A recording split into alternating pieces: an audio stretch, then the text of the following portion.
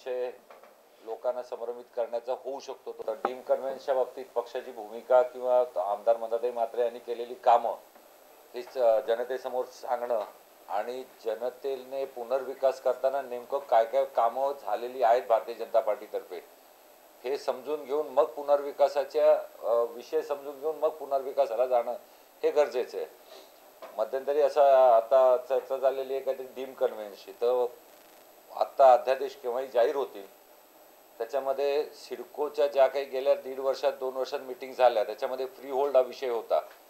तर ज्या लँड सिडकोने अक्वायर केलेल्या आहेत त्या फ्री होल्ड होऊ शकत नाही म्हणून त्याला लिस्ट कॅटेगरी टू मध्ये टाकलेलं आहे. लिस्ट कॅटेगरी टूचा अर्थ नव्याण्णव वर्षाचा करार होतो आणि नव्याण्णव वर्षाचा करार झाल्याच्यानंतर वन टाईम जे काही शुल्क असतं ते भरल्याच्या नंतर त्या करारामध्ये एखाद्या सोसायटीने करार केल्याच्यानंतर सिडकोचा आणि त्यांचा कुठलाही प्रत्यक्ष अप्रत्यक्ष कुठलाही संबंध राहत नाही. असं असताना संपूर्ण जागेचं जागेचा मालकी हक्क जेव्हा जातो सोसायटीकडे त्यावेळेला डीम कन्व्हेन्सची किती गरज आहे आणि आत्ताच तो करणं गरजेचं आहे का? या बाबतीत प्रत्येक सोसायटीने आपापली लिगल ओपिनियन घेणं गरजेचं आहे. त्याच्यामुळे कुठल्याही गोष्टीत संभ्रम करून नको त्या ठिकाणी जाणं मला योग्य वाटत नाही. दुसरी गोष्ट बऱ्याचशा ठिकाणी अशा गोष्टी आढळून आलेल्या आहेत की सोसायट्यामध्ये पुनर्विकासाचे दोन हजार आठ दोन हजार दहाच्या ॲग्रीमेंट्स वगैरे झालेल्या आहेत पुनर्विकासाच्या.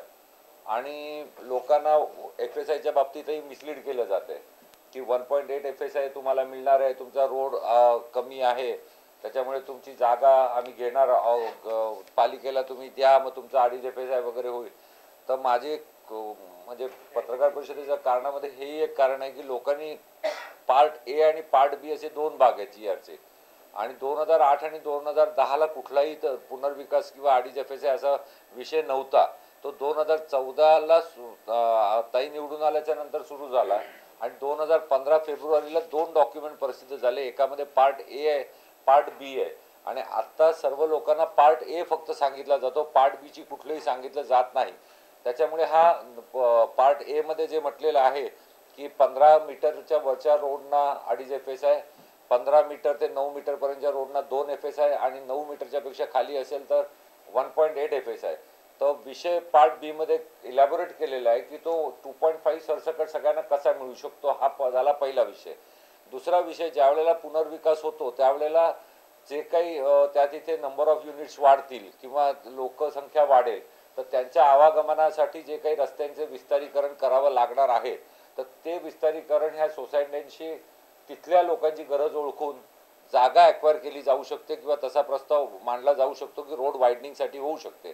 तसं जर का झालं तर विषय ताईने मांडलेला आहे की जी जागा सोसायटीची अक्वायर केली जाईल तर तीही जागा सोसायट्यांना कॉस्टिंग ठरवण्याऐवजी कॉस्ट ठरवण्यासाठी ते परत मोठी प्रोसिजर आहे. त्यामुळे तेवढाचा एफ एस आय त्यांनी सोसायटीला द्यावा. आणि तो जो अधिकार आहे तो अधिकार नेमका मंत्रालयातून कार्यरत व्हावा की महानगरपालिकेतून कार्यरत व्हावा हा विषय ताईंचा आता चर्चेला आहे तो फायनल स्टेजला झालेला आहे. त्याच्यानंतर डीम कन्व्हेन्सच्या बाबतीत साधारणतः दोन वर्षापूर्वी जर का मी चुकत नसेल तर रसाळ म्हणून अधिकारी होते. तर त्यांनी काही सर्क्युलर काढलेली होती आणि काही फाईल गोळा केलेल्या होत्या. तर जे आज वृत्तपत्रातून छापून आलेलं आहे की तीन महिन्यात होतं आणि सिडकोने सिडकोच्या सहीची वगैरे काही गरज नाही तर आज दोन तीन वर्षापूर्वी जमलेल्या फाईलचं जर का आज झालेलं नसेल तर नेमकं तीस तीन महिने दोन वर्षाला म्हणतात की तीन महिने नव्वद दिवसाला म्हणतात हे त्यांनी जाहीर करणं गरजेचं आहे. त्यामुळे लोकांनी कुठल्याही संभ्रमात राहू नये. नव्याण्णव वर्षाच्या कराराची तयारी करावी कारण आता फायनल वन टाइम जे शुल्क ज्याला म्हणतात तेवढं फक्त आहे आणि त्या बाबतीत ताई आता विस्तृत माहिती देतील. मीटिंगमध्ये काल झालं आणि आज पेपरला ज्या बातम्या आल्या तर डीम असं आहे की हे साडेबारा टक्केला लागू आहे. शिडकोचे जे भूखंड आहे शिडकोचा जिथे मालकी हक्क आहे तिथे हे करण्यात काही अर्थ नाही. गेल्या वेळी एका अधिकारीने येऊन सर्व लोकांच्या सोसायट्यांना एक पत्रक काढलं आणि हे डीम कन्व्हिन्स करण्यासाठी त्यांना बोलवलं आणि त्यांच्याकडनं पैसे घेतले गेले. पैसे घेतल्यानंतर ते काही झालं नाही. त्यांना झालं शिडकोला तुम्हाला पैसे भरावे लागणार नाही. जसं काल जसं सांगितलं गेलं की तुम्ही सातवं फॉर्म भरा सात नंबरचा रजिस्टरकडे जा ही गोष्ट खरी आहे. पण मालकी हक्क हा सिडकोचा आहे. आणि शिडको आता नव्याण्णव वर्षाची तुम्हाला लीज देत असताना ते तुमच्याकडनं काही ना काही चार्ज घेतल्याशिवाय ते मालकी हक्क करून देणार नाही.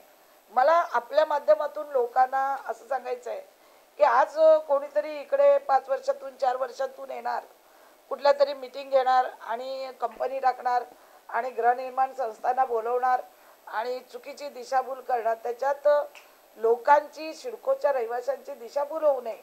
म्हणून आपल्या माध्यमातून आज मी बैठक लावलेली आहे. कारण ही बैठक लावायच्या अगोदर ह्या गेल्या चार वर्षात केलेले मी पाठपुरावे हे मी आपल्या पुढे मांडणार आहे. की या करण्यासाठी किती मेहनत घ्यावी लागली. ही काय एका रात्रीतली घर बांधून कुठलं होत नसतं. आज नवी मुंबई शिडकोमध्ये जेव्हा एकोणीसशे सत्तर साली एक्वायर केलेलं जमिनीवर हे जेव्हा बांधलं त्याच्यानंतर फ्री होल्ड कोणी चाळीस वर्षात करून द्यायची विचारच कोणाच्या मनात राजकीय नेत्यांच्या आला नाही. ज्यावेळी मला मी उभी राहिली त्यावेळी लोकांपुढे गेली. लोकांनी आपण किती वर्ष लीजवर राहायचं?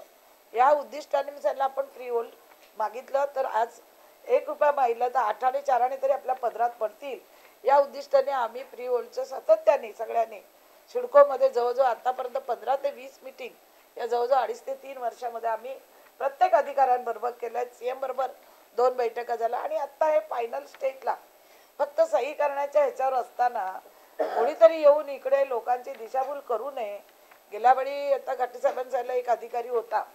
त्या अधिकाऱ्यांनी इथे लोकांना असंच घरोघरी पत्र पाठवून डिस्कन्व्हिन्ससाठी मिटिंग लावून त्यांना करून दिले. त्यांच्याकडे पैसे घेतले.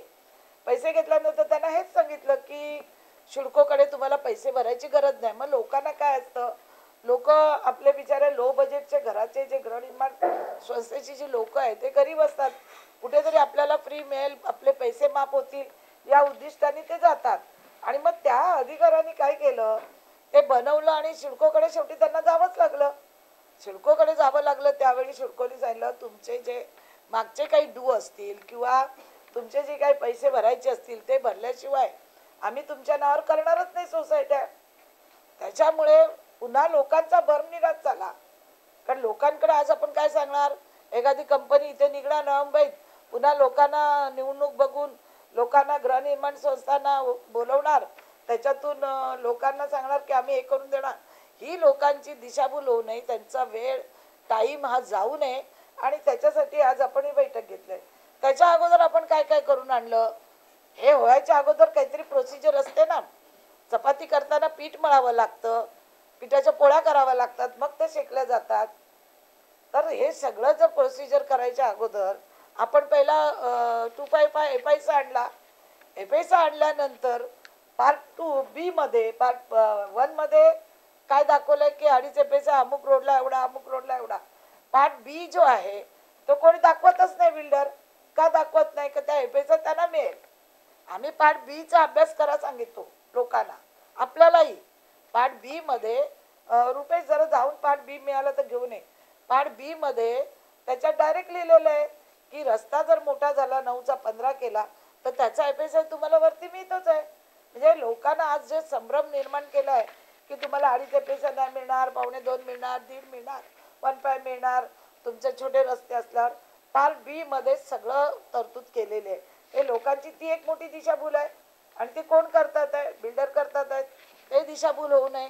म्हणजे प्रत्येक सोसायटीला हा अडीच एपेसा मिळणार आहे. तो आपण आणलेला आहे. त्याच्यानंतर कोर्टात गेले. शंभर टक्के मागणी मागितली. शंभर टक्के मागणी मागल्यानंतर पुन्हा आपण त्याच्यासाठी सातत्याने प्रयत्न केले. लक्षवेधी घेतल्या. सीएमला भेटलो. प्रस्ताव आणले. आता आपण एकावन्न टक्क्यावर आलो. एकावन्न टक्क्यावर आल्यावर पुनर्विकास संस्थेचे सगळे प्रस्ताव यायला लागले. आता हा एकावन्न टक्केचं हे बघितल्यानंतर आणखीन लोकांना कसं मिसगाईड करता येईल? हे काम तर स्वतः कोणी काही केलं नाही. हे काम आम्ही आहे भारतीय जनता पार्टीच्या माध्यमातून केलेलं आहे. लीज होड करते वेळी वन टाइम शुल्क कमी करून घेतली आम्ही. कारण तुम्हाला आता जो शुल्क भरायचा आहे तर आम्ही लो बजेटची घरं आहेत ती फ्री द्या तुम्ही. अशी मी मागणी केलेली आहे. आज उद्या त्याच्याकडे त्याच्यावर सी एमची सही होणार आहे सगळं झालेलं आहे. डाय फाईल गेलेली आहे. कारण लो बजेटच्या घरांना ते साठ पासष्ट हजार घर कुठून भरणार? म्हणून म्हणजे तुम्ही लो बजेटची जी घरं आहेत ह्यांना तुम्ही फ्री द्या. मी मागणी केलेली आहे. कमर्शियल असेल ते पस्तीस लावले तिथे पंचवीस पंधरा द्या. रेसिडेंट आहे त्याला पंधरा द्या. अशी मी वेगवेगळी मागणी केलेली आहे आणि ती त्यांनी सरकारने मान्य केलेली आहे. दुसरी गोष्ट आताच मध्यंतरी मला सगळे समाजसेवेचे जे भूखंड आहेत ते मग शाळेचे असतील कॉलेजचे असतील किंवा मंदिराचे असतील मस्जिदचे असतील किंवा देवळाचे असतील ही लोक सुद्धा सगळे भेटून गेली. त्यांचंही म्हणणं आहे की आमच्यासाठी सुद्धा तुम्ही हे चेंज ऑफ यूज आम्ही करणार नाही. कारण प्रत्येकाला वाटतं की शाळेचा प्लॉट चेंज करून बिल्डिंग बांधू नये. म्हणून ते चेंज ऑफ यूज न करता तुम्ही आम्हाला टेन पर्सेंटमध्ये टक्के घ्या आमच्याकडनं लीजच्या आणि ते आम्हाला त्याच्यामध्ये समाविष्ट करून घ्या. त्याच्यानंतर आम्ही शुल्कोचा हस्तक्षेप ह्या कुठल्याच भूखंडामध्ये राहणार नाही. ते आपण करून घेतलं. आणि सगळ्यात महत्त्वाची गोष्ट की ट्रान्सफर चार्ज हा भरायला लागत होता. तो आपण माफ करून घेतला. त्याच्यानंतर संपूर्ण सोसायटीला अधिकार आहे. ही सोसायटीचं कुठलंही कामकाज करायचं असेल तर शिडकोला किंवा महापालिकेला किंवा फक्त तो तिथे राहणारे सोसायटीमध्ये राहणारी जी लोक आहेत त्यांचा तो अधिकार राहील सोसायटी बनवताना. हे आपणच करून घेतलेलं आहे. तर त्याच्यावर चेंज ऑफ यूज करून घेतलं आणि डीम कन्व्हेजन्स या संदर्भामध्ये. काल जी मिटिंग झाली त्या संदर्भात बोलायचं. तर मी आता अनेक अधिकाऱ्यांशी पण मी बोलली. त्यांनी काय सांगितलं मला? त्यांनी एकच सांगितलं की हस्तांतर शुल्क शुल्कोची इतर देणे भरणं आवश्यक आहे. पण त्यासाठी सदस्य संस्थेत लीज डीड करण्यास मान्यता तेव्हाच देण्यात येईल ज्यावेळी तो शुल्कोचं जे पैसे आहेत ते भरल्याशिवाय हे होणार नाही. आणि काल काय सांगितलं गेलं? की कुठलेही पैसे भरायची गरज नाही आहे तुम्हाला. तुम्ही फक्त सहनिबंधकाकडे जा फॉर्म भरा आणि त्या फॉर्मच्या माध्यमातून तुमची घरं. पण असं नाही आहे ही दिशाभूल होऊ नये. आणि म्हणून मी आज ही पत्रकार परिषद घेतलेली आहे. त्याचप्रमाणे ही पत्रकार परिषदेची कॉपी आहे ही तुम्हाला मी द्यायला सांगते सगळ्यांना. आणि जर काही तुमचे प्रश्न असतील याच्या बाबतीमध्ये तर तुम्ही मला विचारावं पुढे ये ना दिशाभूल कोण करते आता काल जी बैठक झाली त्या बैठकीमध्ये आपण सगळ्यांनी पाहिलेल्या पेपरला आज बातम्या आलेल्या आहेत. तर माझं असं म्हणणं आहे की लोक जे आहेत ही बिचारे लो बजेटच्या घरात राहतात. ह्यांना वेळ नसतो हे नोकरी धंद्याची माणसं असतात. तर आपण त्यांना बोलवून आपण त्यांना सांगितलं की तुम्हाला चिडकोचे पैसेच भरायचे नाही. तर आपण जो काम आज मी एवढी वर्ष जे करते तीन चार वर्ष त्याच्यावर पाणी फेरल्यासारखं तर लोकांची दिशाभूल होते ना. की मॅडम सांगतात "ल- पैसे भरायला लागतील थोडे बहुत. आणि हे म्हणतात पैसे भरावेच नाही लागणार. पण अशी लोकांची फसवणूक अगोदर रसाळ नावाच्या अधिकाऱ्यांनी केलेली आहे. आता हे जे कालच्या ज्या बैठक झाल्या काल पूर्वीचे जे अधिकारी जे इथं राहिलेले आहेत जे पालिकेत अधिकारी होते आता त्यांनी अनेक कामं केलेले आहेत. त्यांना माहिती आहे ना की अ, कमीत कमी आपण काय करू शकतो? तर त्याच्यामुळे ती दिशाभूल होऊ नये असं माझं मत आहे. शिवसेनेचा बॅनर नव्हता तो. तो प्रायव्हेट संस्थेचे बॅनर होते म्हणून त्यांच्यावर आपण नाव घेऊ शकत नाही. कारण ते प्रायव्हेट लोकांची नावं होती ते आपण वाचलीच असतील. शिवसेनेचे नेते दिशाभूल करतात का असं मत आहे? नाही नाही शिवसेनेच्या नेत्यांचं तिथे नाव नव्हतं. तिचं नाव कोणाचं होतं? प्रायव्हेट ज्यांनी ऑर्गनाईज केले स्वतःच्या नावानी संस्था. आता मंदाताई म्हात्रे चॅरिटेबल ट्रस्ट जर मंदाताईने केलंय तर ती मंदाताईच असणार. नाही नाही ज्यांच्या नावानं ते आयोजित केलं होतं हो, मग-. नाही तिथे शिवसेनेचा कुठला बॅनर नव्हता त्याच्यामुळे शिवसेनेवर एलिगेशन न करता ज्या प्रायव्हेट व्यक्तीने केलेलं आहे जर मंदा मात्र स्वतःच्या नावाने पत्रकार परिषद घेते तर तिचंच नाव येणार. आता ही भारतीय जनता पार्टीची पत्रकार परिषद आहे तर भारतीय जनता पार्टीचंच नाव येणार. काही चूक झाली किंवा कमी फक्त माझं आपल्या माध्यमातून जनतेला सावध करायचं आहे की हे दिन कन्व्हिज होताना पहिली गोष्ट म्हणजे एक रजिस्टर करू शकतो. तरी पण तुम्हाला शिडकोचे जे मिनिमम चार्ज आहे ते भरावे लागणार. जेव्हा नाईन्टी नाईन वर्षाची लीज ओढचं सही होईल त्याच्यानंतर होईल आणि हे साडेबारा टक्क्यावर होईल. तुमच्या शिडकोच्या प्लॉटवर हे होऊ शकत नाही. एवढंच मला लोकांना सांगायचं होतं. आणखीन जर कोणाला आपल्याला आणखीन काही माहिती पाहिजे असेल. आणि हा हे कसं मुंबईमध्ये होतं. आता ते जे काही अधिकारी काल आलेले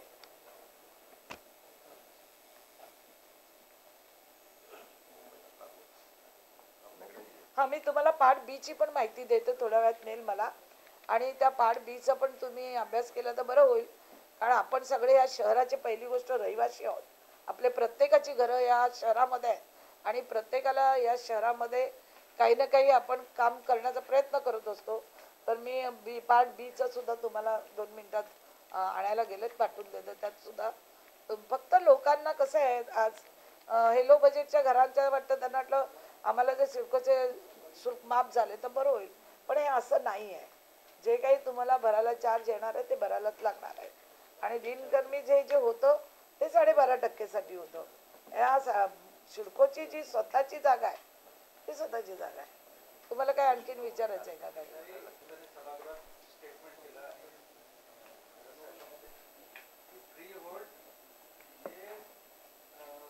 विशिष्ट टप्प्यावर केलेला आहे.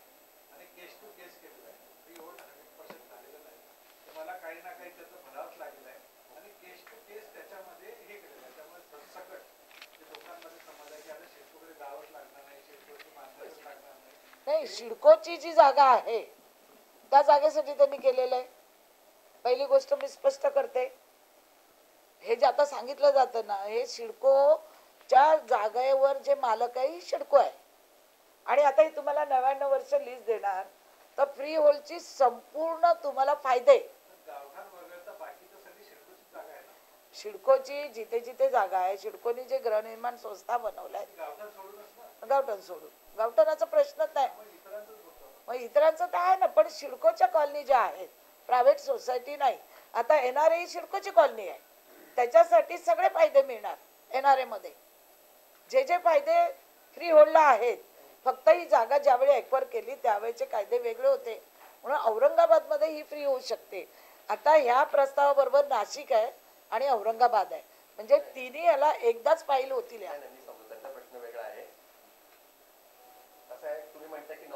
लीज तर आपल्याला कलेक्टरकडून जे नंतरचे रिन्युएशन असेल नव्याण्णव वर्षानंतर ती कलेक्टरला राईट्स जातील जिल्हाधिकाऱ्यांना. सिडकोचा ताबा राहणार नाही. हे समजून नव्याण्णव वर्षाची लीज झाल्यामुळे. जे आता वाटतं ना की तुम्ही नव्याण्णव वर्षानंतर काय? तर ते कलेक्टरकडे जाणार त्या आता लोकांना खरा त्रास काय? सिडकोचा नाही. मी तू तू- मी तुम्हाला तेच सांगते शिडको मुक्त हे शहर होणार आहे. पहिली गोष्ट परत समजून घ्या. शिडको मुक्त हे शहर करताना गेली तीन वर्ष. मी सातत्याने प्रयत्न केलेले आहेत. आपल्या माध्यमातून सातत्याने बातम्या आलेल्या आहेत. गमत असे कोणीतरी येतं कोणीतरी मिटिंग घेतं. आणि हे सगळं निवडणुका डोळ्यासमोर ठेवून या गृहनिर्माण संस्थांची दिशा बोलवू नये. म्हणून आजची पत्रकार परिषद आहे. कारण गेल्या वेळी एका अधिकाऱ्याने येऊन असंच केलं. दोन वर्षापूर्वी. सगळ्या सोसायट्यांना पत्र दिलं त्याच्यानंतर त्यांनी बनवलं. त्यांच्याकडनं बनवून घेतलं त्यांच्याकडे पैसे घेतले. आणि शिडकोत गेल्यानंतर तुम्ही शिडकोचे अधिकारी आहेत फयाज खान यांच्याशी तुम्ही बोलू शकता आता. तेही तुम्हाला ही माहिती देतील की त्या किती लोकांचे प्रस्ताव येऊन पडलेत. ते आजही होऊ शकले नाहीत. का तर त्यांना डू भरायला पैसे पैसे जे आहेत उलट जे पूर्वी भरायला लागत होते ते आता मी सगळे कमी करून घेतलेले आहेत. जसं लो बजेटची घरांना पैसेच घेऊ नका. त्यात जर लो बजेटची घरांचं असतील पण आता हे डिनकमीज करण्याची गोष्टच राहिली नाही. फ्रीज झालेलं आहे. जवळजवळ. मग हे करण्याची गरजच नाही. मग लोकांमध्ये आम्ही हे करणार ते करणार हे असा मेसेज टाकून लोकांची दिशा बोलवू नये. आपल्या माध्यमातून कडे आपण एक सुद्धा पत्रकार आहात आणि आपण नेहमीची बातमी आहे इथल्या जनतेसाठी लिहित आहे त्याच्यामुळे तुम्ही म्हणताय की तीन कमी सुविधा राबवते हो हो लोक करते या. ही खाजगी व्यक्ती असं का करते हो हो. ते त्यांना तुम्ही विचारा ना कारण कसं आता इलेक्शन आलेलं आहे. ज्यांना ज्यांना इंटरेस्ट आहे तो असे करणारच काम. लोकांची दिशाभूल नाही केलं तर तुम्हाला मतं कोण देणार? तुम्ही चार वर्ष कुठे होतात?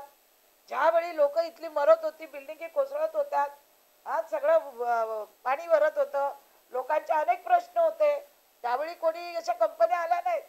आज नव्या मुंबईमध्ये नवीन नवीन कंपन्या येतील. त्याच्यापासून लोकांनी सावध राहावं. एवढीच माझी आपल्या माध्यमातून मागणी आहे. नाही कसं आहे कोण एखादी व्यक्ती ऐका एखादी व्यक्ती एखाद्या पक्षाचा फायदा घेऊन एखाद्या पक्षाच्या नावाचा फायदा घेऊन जर लोकांची दिशाभूल करत असेल तर मी पक्षाचं नाव घेईन. पण स्वतःच्या नावाची जस्ट काढून जर कोणाची दिशाभूल करत असेल या शहरामध्ये तर ते आम्ही कदापि खपून घेणार नाही. कदापि खपून घेणार नाही. पण आम्ही इथले मूळचे रहिवासी आहोत. इथले तुम्ही सगळे मूळचे रहिवासी आहात. त्याच्यामुळे आम्ही असल्या कोणी येईल आणि आमच्या शिडकोच्या रहिवाशांना फसवून जाईल.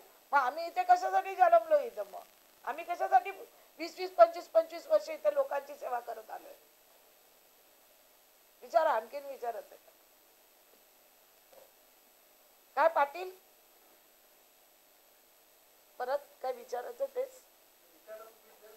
नाही व्यक्तिगत जर कोणी ते तुम्ही काय बोलायचं बोला पण मला ते व्यक्तिगत चॅरिटेबल ट्रस्टनी कार्यक्रम केलेला आहे. मी व्यक्तिगत जर मंदा मात्रेनी कार्यक्रम आज पक्षाचा बॅनर लावलं पक्षाचं बॅनर होतं का? मग मी बोलू बोलू शकत नाही.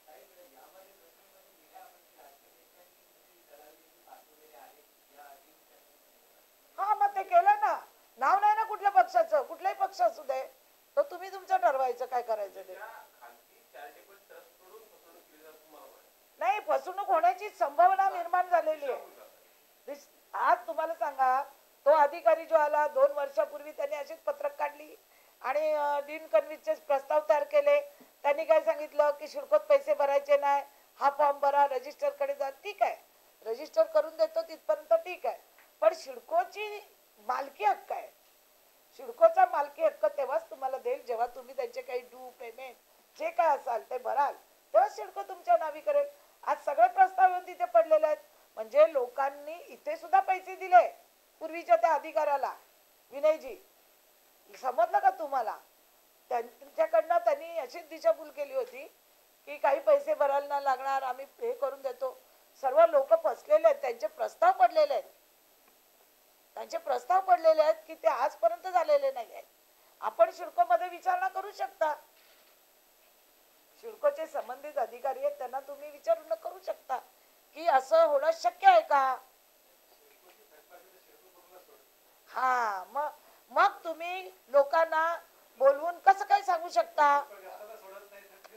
मग मला तोच मुद्दा आहे मग तुम्ही लोकांना कसं सांगू शकता?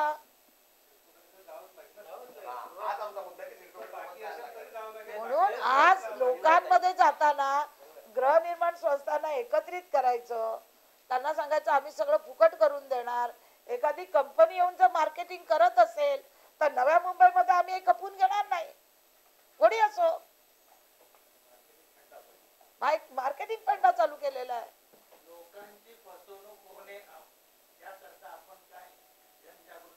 म्हणून तरी तुमच्या माध्यमातून काय आजची? हीच जनजागृती मोहीम आहे. चौथा स्तंभ आहे ना. तुम्ही कशासाठी माझ्या बरोबर मी तिसरा तुम्ही चौथा? मी तिसरा तुम्ही चौथा. ते आता तो प्रश्न नाही माझा प्रश्न डायव्हर्ट करू नका. आज लोकांची तुम्ही पण या नव्या मुंबई शहरात राहता. तुमची घरं आहेत. तुम्हाला उद्या जर कोणी येऊन फसवून जात असेल एखादा अधिकारी. आज नवी मुंबईच्या तिजोरीकडे सर्वांचे लक्ष आहेत.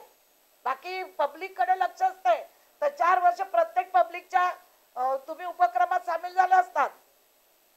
मला सांगा ना इथल्या जनतेच्या कोणी काय प्रश्न सोडवले? मी एवढे वाचून दाखवले कुक्षेत पासून सगळे. ते आता ते तुम्ही काय लिहायचं ते तुम्ही बघा. सैन्याचा बॅनर असता तर मग मी काय बोलायचं वेगळं बोलली असती. पण बॅनर व्यक्तिगत होते ना. तर मला व्यक्तिगतच बोलावं लागेल. व्यक्तिगत कोणी येऊन इकडे जर लोकांची दिशाभूल करत असेल की शिडकोचे पैसे माफ होतील तीन तीन महिन्यात तुमचं होईल. मग दोन दोन वर्ष फायली का पडलाय? शिडकोकडे हे तीन नवीस केलेला दोन दोन वर्ष फाईल का पडल्यात तीन महिन्यात होत असेल तर? शिडकोने स्पष्ट सांगितलं की आमचे पैसे दिल्याशिवाय आम्ही देऊच शकत नाही. आमची मालकी हक्क आहे साडेबारा टक्केचं होऊ शकतं. कारण ते विकलेले प्लॉट आहेत. पण सिडकोच्या मालकी हक्क मला तुमच्या माध्यमातून आज हाच मेसेज द्यायचा आहे फक्त. लोकांसाठी की गृहनिर्माण संस्थेला एकत्रित करून कुठली कंपनी वगैरे आलेली आहे हे सगळं फसवणुकीचं काम चालू आहे. शेवटी तुम्हाला शिडकोचे आता ते सुद्धा पैसे मी कमी करून घेतले. लो बजेटच्या घरांना मी फ्री मागणी केलेली आहे. की त्याचे पैसे काय घेतात साठ एकसष्ट हजार? फ्री द्या त्यांना. त्याच्यानंतर कमर्शियलची मी मागणी केलेली आहे. ज्यांनी पस्तीस चाळीस लावले होते ते पंचवीस प- वीस करा. जिथे रेसिडेंट लावले होते तिथे पंधरा करा. हे करून घेतलेलं ना मी. वन आहे. वन टाइम शुल्क भरायचं. तुम्हाला नाईन्टी नाईन वर्षासाठी. पुन्हा कधीच नाही. आणि सगळ्या फेसिलिटी पहिली मेन फेसिलिटी तुम्हाला ट्रान्सफर चार्ज माफ होतोय. चेंज ऑफ यूज होतोय तुमचं. आणखीन काय पाहिजे? हे कोणी केलं का? ही फाईल जेव्हा व्हायला लागली तेव्हा आता लोकांना दिव्य स्वप्न पडायला लागली. आपला चौथा स्तंभ आहे त्याच्यातून तुम्हाला जमते पुरतं. कारण तुमची प्रत्येकाची घर आहे तिथे. गेल्या वेळी तर रसाळ नावाच्या अधिकाऱ्यांनी केलं होतं माहिती असेल तुम्हाला. ते ते अजून झाले का एक तरी आता दुसरे अधिकारी आले आमच्या नाव मुंबईला शिकवायला. पण आम्ही सगळे अडाणी आहोत ना? हे ते कोण मला नाही माहिती? बोला. तुम्ही नाव वाचता तुम्ही माझ्यापेक्षा हुशार आहे.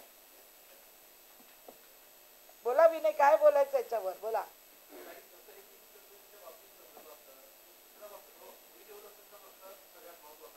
तोही सांगितलं तुम्ही लेट आलात जरा.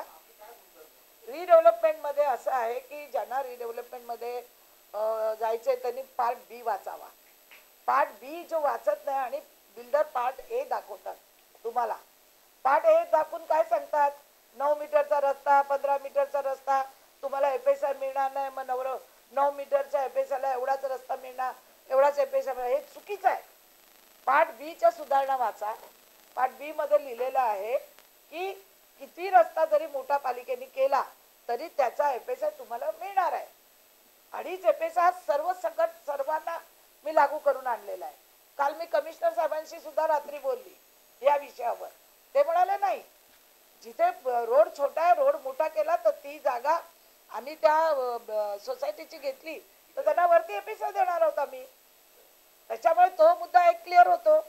दुसरी गोष्ट अशी आहे की ज्यांनी पंधरा वर्षापूर्वी ॲग्रीमेंट केलेले आहेत त्यांना पुन्हा ॲग्रीमेंट करावे लागतील. बिल्डर बरोबर टर्म कंडिशन बदलल्यात आता कंडिशन वेगळ्या आलेल्या आहेत. त्या टर्म कंडिशन प्रमाणे जावे लागेल. आता तुम्हाला सी सी मिळाल्यानंतर तुम्हाला तो बिल्डरच्याकडे तो रेराचं त्याचं रजिस्ट्रेशन आहे की नाही ते बघावं लागेल. ते जर तुम्ही बघितलं नाही उद्या तो अडचणीत आला तर सोसायटीच्या अध्यक्ष आणि सेक्रेटरी अडचणीत येतील. काल मी तीन ते चार सोसायटीत गेली होती त्यांच्या अडचणी त्यांनी मला सांगितल्या. मी कोणाचं नाव घेत नाही. पंधरा सात ते आठ वर्षापूर्वी रजिस्ट्रेशन झालंय. त्या रजिस्ट्रेशनमध्ये काय लिहिलंय काय नाही ते त्या लोकांना मिळालेलं नाही. ते फक्त अध्यक्ष सेक्रेटरीलाच माहिती. त्यांना मी काल सांगितलं तुम्हाला हे परत करावं लागेल. परत आत्ताच्या नियमानुसार रजिस्ट्रेशन करावं लागेल. आणि मग पुनर्विकासाचा मार्ग मोकळा आहे. माझी आपल्या माध्यमातून लोकांना सांगणे की डोळे उघडे ठेवून कान उघडे ठेवून तुम्ही जो विकास कराल हे तुमचं कष्टाचं हक्काचं घर आहे. ह्याची चावी देताना तुम्ही विचार करून कोणाच्याही हातात उठून चावी देऊ नका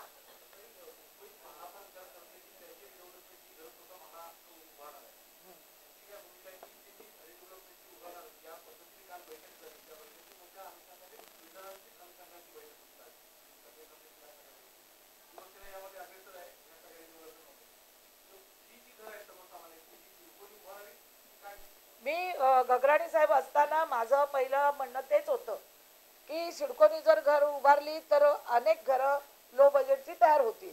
अनेक गरीब लोकांना इथे घरं प्राप्त होतील. ज्यावेळी आमचं पहिली मिटिंग झाली भाटियांबरोबर मिस्टर भाटिया बरोबर तेव्हा दिनेश वाघमारे वगैरे आम्ही बसलो होतो. त्यावेळी आमचा एफ एस आय पण चार एफ एस आय तीन एफ एस आय करता करता लोक म्हणाले की मंदाताई निवडणूक डोळ्यासमोर ठेवून एफ एस आयची मागणी करते म्हणून. मग त्याच्यात बोले आम्हाला वेळ कमी आहे अमुक कमी आहे. म्हणून तो अडीच एफ एस आय झाला. कारण वाशी सारख्या ठिकाणी दोन एफ एस आज सतरा सेक्टरमध्ये वापरलेला आहे. त्यांना अडीच एपेसाचा काय उपयोग होणार सांगा? एवढी खोडली मिळून. म्हणून माझी मागणी होती की चार एफ एस तरी द्यावा.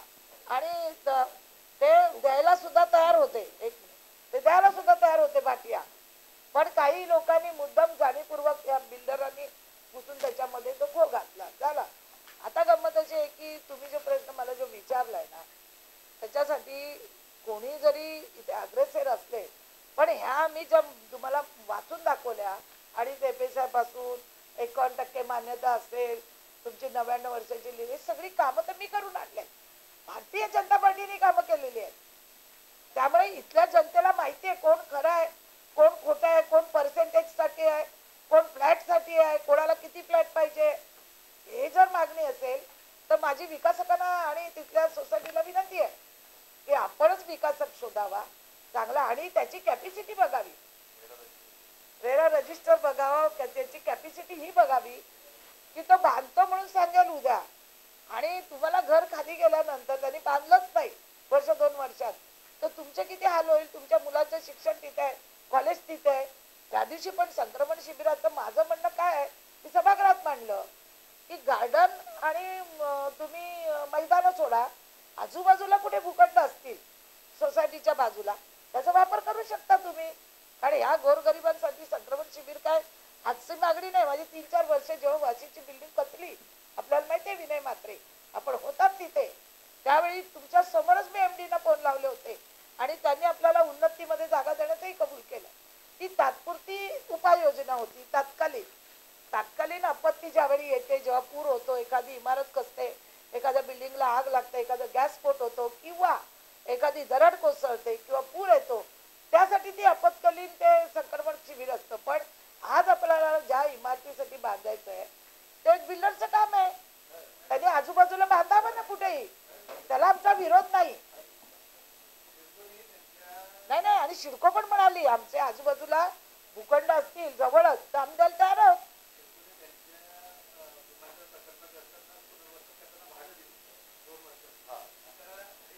बघा आता काय होतं भाडं जरी दिलं ऐका तरी जवळपास शाळेजवळ घर नाही मिळत. आता घरं नाही आपली आपली एरिया ही वेगळी आहे. आपल्याकडे सगळं फुल पॅक आहे. आपल्याकडे घरं नाही आहेत. मी पण बोलली होती की तुम्ही भाडं द्या त्यांना पण घरं मिळत नाहीत. चार लोकांना मिळतील पण आज इतक्या लोकांना घरं नाही मिळणार. म्हणून ते ठीक आहे ना बाजूला एखादा रिकामी भुकट काय तर तिथे तुम्ही बांधा ना परवानगी घ्या शिडकोची पालिकेची. काय चार्ज असेल तो भरा आणि बांधा. फक्त कसं आहे ऐका कोणी कोणी जर उद्या जर कोर्टात गेलं तर ते पुन्हा ते रखडणार. म्हणजे मी एकावन्न टक्क्याचा एवढं जीवाचा आटापिटा करून या लोकांसाठी जे आणलंय ते पुन्हा रखडणार कोण कोर्टात गेल्यावर? म्हणून माझी सगळ्या विकासांना मागणी होती. की आजूबाजूला कुठला भूखंड आहे आम्हाला सांगा. आम्ही तुम्हाला त्याच्यात मदत करू. आम्ही येऊ तुमच्या बरोबर शिडकोकडे आयुक्ताकडे तुम्हाला देण्यासाठी.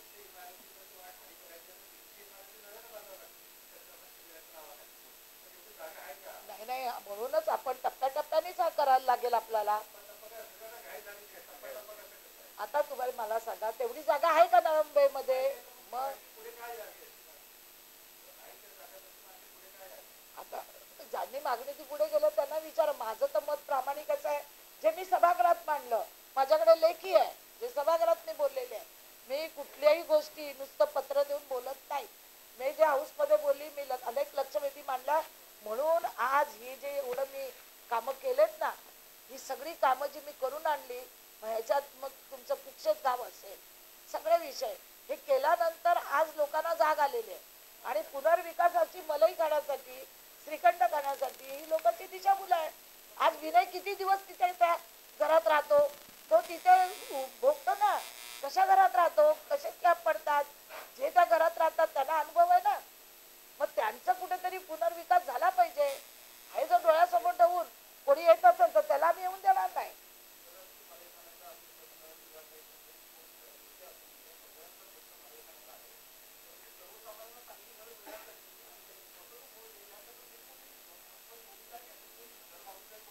भाजपाची ना माझी पहिलीपासून मागणी होती की शिडकोनी घरं बांधून द्यावी म्हणजे सगळे लोकांची फसवणूक होणार नाही होती पहिली पण त्यांनी बोलले आम्ही आता एअरपोर्टच्या विमानतळानंतर आम्ही तुम्हाला फ्री करून निघून चाललेलं आहे आता त्या सगळ्या सुविधा तुम्हाला देऊन शिडको बाजूला चालली असताना आपण परत कसं सांगणार आमची घरं बांधून द्या परत कशाला त्या मायाजाळामध्ये अडकणार आज लोकांना मुक्तता करायची आहे. आज शिडको मुक्त शहर आज आपण करतोय शिडकोनी बांधलेलं हे नव्या मुंबईसाठी एक फार मोठं दिलास आहे आजपर्यंत कोणी चाळीस वर्षात केलं नाही आजपर्यंत कोणी चाळीस वर्षात ह्या गरीब लोकांचा विचार पण केला नाही साधा विचार जरी केला असता किंवा विचार जरी पुढे आला असता तरी त्याच्यावर प्रक्रिया सुरू झाली असती पण आज आपण या विचार आणून हे सगळं रेकॉर्डवर आणून आपण आज ही सगळी प्रक्रियातून गेलेलो आहोत आणि फायनल स्टेजला असताना जर कोणी येऊन इथे या शहराला डिस्टर्ब करत असेल तर ते आम्ही लोकप्रतिनिधी म्हणून होऊन देणार नाही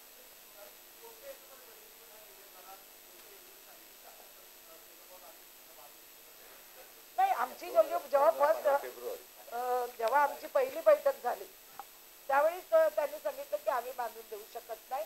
मी खूप आग्रह केला होता की जर तुम्ही जर बांधून दिली तर अजून चांगली घरं होतील. आणि आता आपल्याकडे नवीन नवीन योजना आलेल्या आहेत. नवीन नवीन आपल्याकडे यंत्रणा आलेल्या आहेत. त्या यंत्रणेच्या माध्यमातून चांगलं बांधकाम होईल वगैरे. खूप मागणी केली पण त्यांनी सांगितलं भाट्या पण गगराणी पण नाही सांगितलं. गगराणीकडे त्याच्यावर विस्तृत चर्चा झाली. भाट्याच्या काळामध्ये कमी मिळाला पण भाट्याच्या काळामध्ये सुद्धा त्यांनी म्हणजे मॅडम आपली लोक विकासक पण देतो आणि त्यांनी एक क्लास पण टाकला की विकासकला जर तिथले लोक मान्य देत असतील तर कोणी विकास घेऊन त्याचा हे करू ते तुमच्यावरती आहे. फक्त तुम्ही समोर जाताना तुमचं घर कष्टात त्याची चावी देताना चांगल्या लोकांच्या ताब्यात द्या एवढंच माझं